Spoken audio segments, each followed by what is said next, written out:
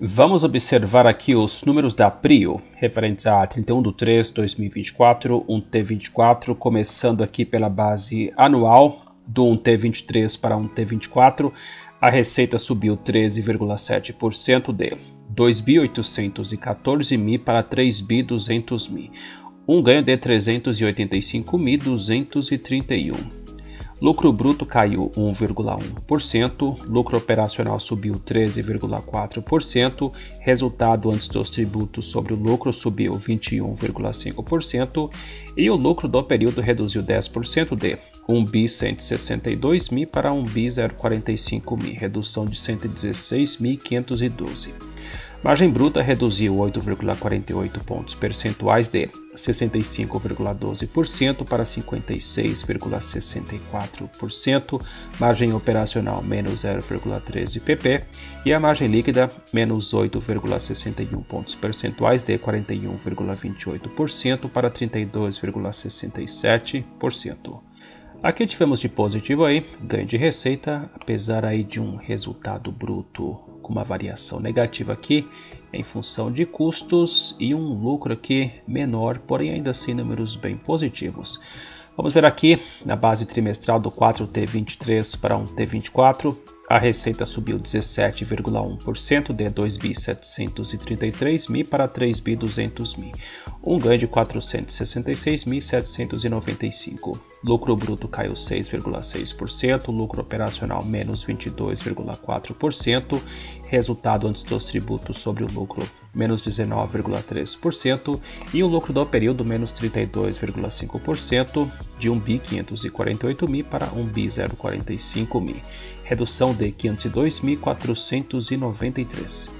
A margem bruta reduziu 14,33 pontos percentuais, margem operacional menos 27,45 pp e a margem líquida menos 23,96 pontos percentuais de 56,63% para 32,67%. Aqui, apesar do ganho na receita, maiores custos e despesas, hein? Reduziram aí muito as margens e o resultado aqui, o lucro do período. Vamos ver aqui alguns detalhes, um T24, TRE resumida. Do um T23 para um T24, a receita subiu 13,7% e os custos aumentaram bastante aqui, hein? 41,3% a mais, de menos 981.885 para menos 1.387 mil. Um aumento de menos 405.753. Isso aí pode explicar um pouco porque que as ações aí, além dos juros, né, caíram bastante agora, hein? Recentemente, aí, após bater lá os 50 reais, recuaram bastante, hein? Resultado bruto reduziu 1,1% de 1.833 mil para 1.812 mil, redução de 20.522. Não é tanto, né? Porém aí com o aumento aí dos custos, né, teve um ganho muito bom de receita. Então normalmente espera-se aí que o lucro bruto feche com uma variação positiva, né? Despesas receitas operacionais elas reduziram 71,7% aqui saldo negativo de despesas. Como isso fechou aqui com um lucro operacional 13,4% maior de 1 bi 519 mil para 1 bi 723 mil, ganho de 203.912, graças à redução aqui nas despesas.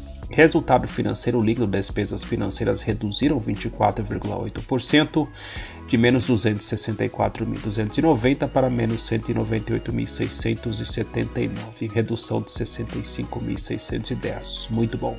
Com isso tudo aí, fechou aqui um resultado antes dos tributos sobre o lucro 21,5% maior de 1 bi 255 mil para 1 bi 525 mil. Um ganho de 269.523. Eu acho esse número aqui muito interessante, muito importante, mais aí do que o lucro, hein? Para mim aqui na minha opinião. Com o imposto de renda e contribuição social, fechou aqui um T23, lucro de 1 bi 162 mil para 1 bi 045 mil, redução de 10%, e aqui também atribuído aos sócios.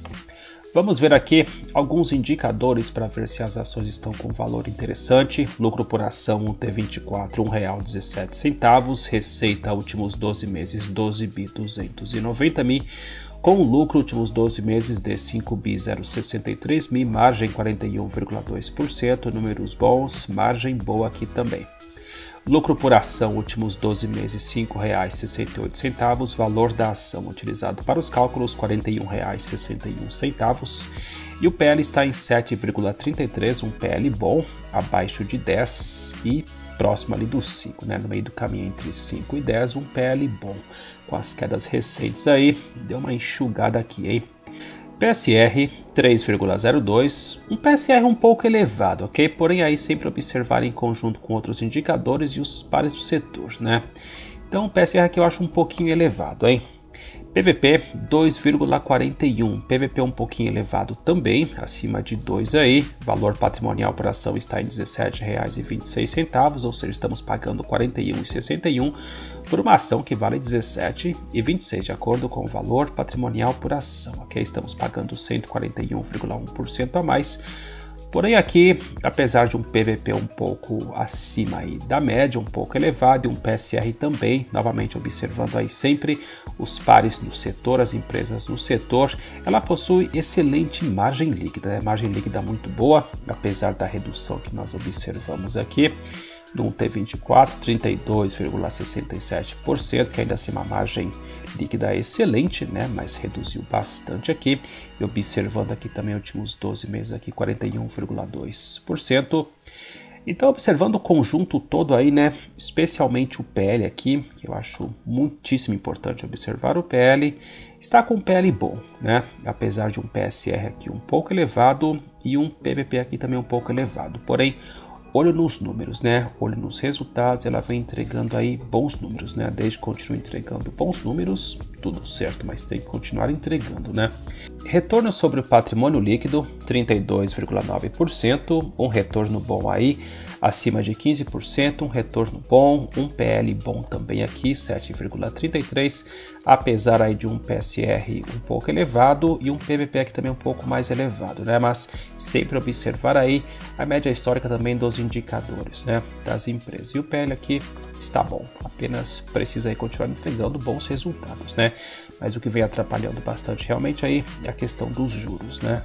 Vamos ver aqui, patrimônio líquido 4T23 para 1T24, variação positiva aqui 1 bi 518 mil, número de ações permanece o mesmo aqui 4T23 para 1T24, valor de mercado 37 bi 118 mil, com dividendos 0,2% últimos 12 meses. E considerando aqui uma dívida líquida de 7 bi 064 mil, com um patrimônio líquido de 15 bi 396 mil, está em 45,9%. Vamos ver aqui o gráfico então, no começo de 2024 aqui, dia 2 de janeiro, R$ 45,35, passeou lá nos 50, né, aqui ó, 52,13 e aí passou a corrigir então, né? Está aqui agora nas mínimas do ano aí em R$ 41,61, com os juros atrapalhando bastante, né?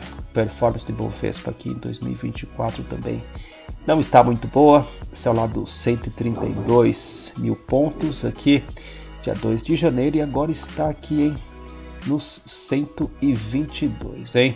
E olho no Brent, né? Brent aqui no comecinho do ano, aqui também dia 2 de janeiro, 77,48 aqui em dólares, subiu lá para os 90 também e passou a corrigir, né? Novamente aí a questão dos juros americanos. Né? Então, aqui no caso da Prio, sempre olha aqui na cotação do Brent, obviamente, e na produção da empresa, né? capacidade de produção da empresa e nos resultados. Vamos ver aqui mais alguns números então para finalizar do 1T23 para o 2T23. A receita caiu 17,9% de 2.814 mil para 2.311 mil e o lucro caiu 27,6% de 1.162 mil para 840 mil 969. A margem aqui 41,3 para 36,4%. Aqui no 3T23, a receita subiu 75% para 4 bi 045 mil e o lucro subiu 93,7% para 1 bi 628 mil, margem 40,3%. Aqui no 4T23, margem muito boa, 56,6%. A receita caiu 32,4% para 2 bi 733 mil E o lucro aqui conseguiu se manter aí, hein? Por isso uma margem aqui melhor, caiu apenas 5% para 1 bi 548 mil. E aqui já observamos no T24. Muito obrigado por sua atenção e até a próxima.